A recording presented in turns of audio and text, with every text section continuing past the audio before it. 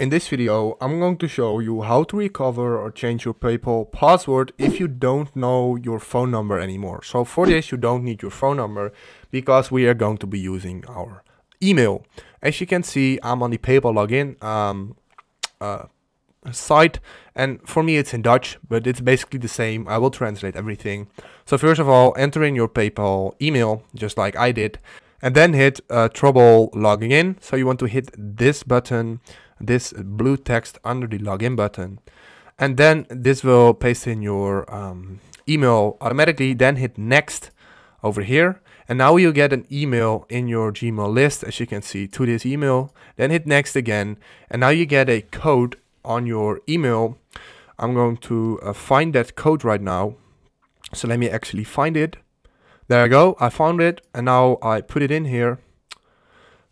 Five, three, five, eight, nine, six.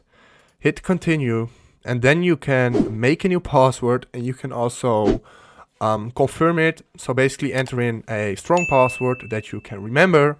So this will be mine. Then hit save. And as you can see now it says it's done and I can update. And now if you log in, you changed your password without phone number. So if this video helped you out, please leave a like, please subscribe and see you next time.